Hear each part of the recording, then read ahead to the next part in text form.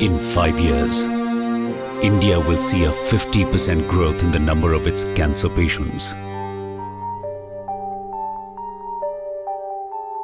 But currently, there is only one oncologist for every 5,000 patients in India.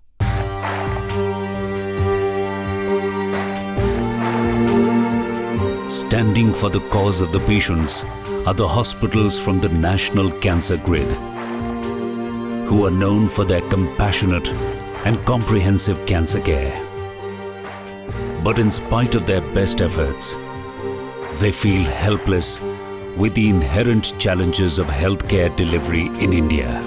There are more than 20 to 30 patients waiting for admission to the 183 beds that the hospital has. In the last decade, we have had doubling of our patients. So from 35,000 new patients annually 10 years ago, we now stand at 70,000 new cancer patients annually. India faces the great problem that our population, our burden is very, very high, although the incidence is not that high.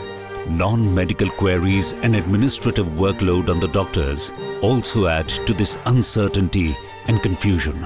Say questions like what type of a bed do you have?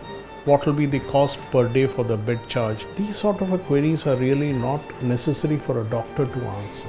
Actually, this not only creates waste wastage of time for us, it creates a whole inconvenience to the whole system.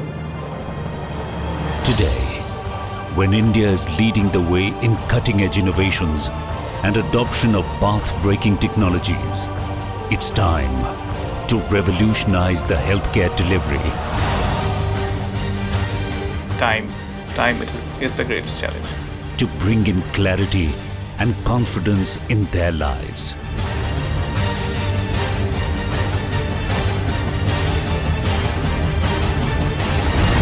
The time is now.